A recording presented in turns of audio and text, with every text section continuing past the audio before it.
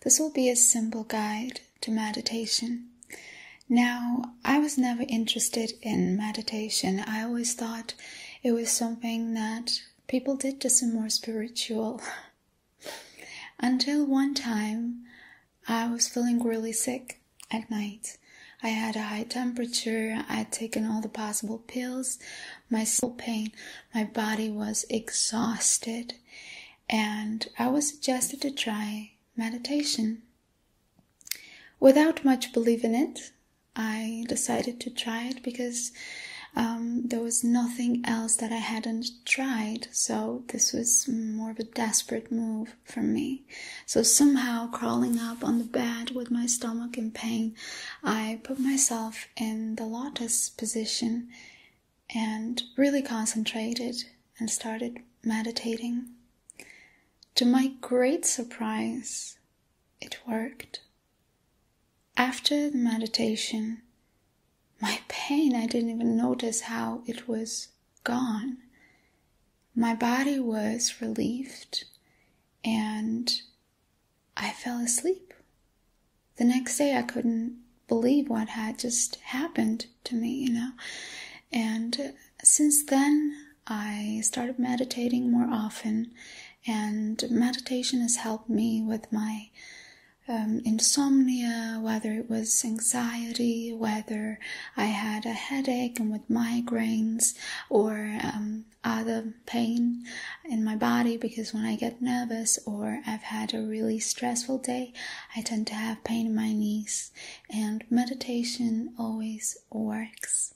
And what I learned by meditating and the message that I want to pass through is that we don't realize the amount of control we actually to feel pain or not to feel pain, to feel a certain way, we can command our mind to feel scared, to feel down and exhausted, or to feel relaxed and confident and in peace. And uh, I think that's the problem that most people have that uh, you know, that same attitude as I had before towards meditation. that it's just something, you know, silly people do and don't realize the amount of power that it gives to them over their own body. And meditation is not difficult. Today, I will show you the simple technique that I used that night and have been using ever since. Okay? The first thing that you need to do when you want to start meditating is to make sure you cancel out all the possible external noises that may be bothering you. Maybe the processor of your computer is too loud, or um, turn off your phone because if there are messages popping up and it's ringing, then it will distract your mind. And meditation, it's concentration. Meditation is about achieving the complete state of thoughtlessness and balanced breathing. Okay? So make sure that you cancel out all the possible noises. Then, what you will need to do is to make sure that the room or the place where you are is lighted in a way that it's comfortable for you. So, it's preferred that the room where you're meditating is um, lit with a low light, or maybe you turn off the lights completely. Of course, you can meditate during the day too. Um, it's just that you have to feel comfortable with the lighting in the place that you're meditating. And uh, last but not least, or should I say most importantly, is that you have to find put yourself into the lotus pose. Now, you can meditate while you're sitting or uh, laying down, you know.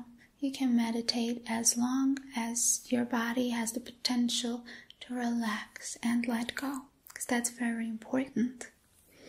And uh, if you do all these three steps, then we can start already meditating. All right.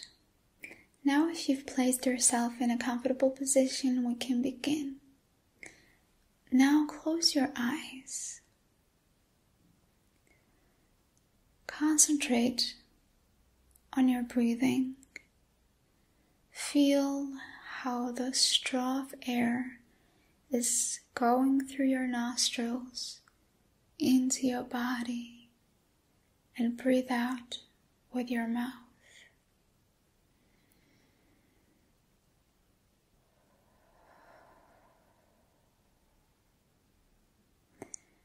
It is important that you breathe in with your nose and breathe out with your mouth. When we breathe in with our mouth, then we don't get enough oxygen to our heart and our brain. Our heart and our brain can get enough oxygen only when we're breathing with our nose. So inhale with your nose. Feel how the oxygen is filling your brain, your heart, all of your body.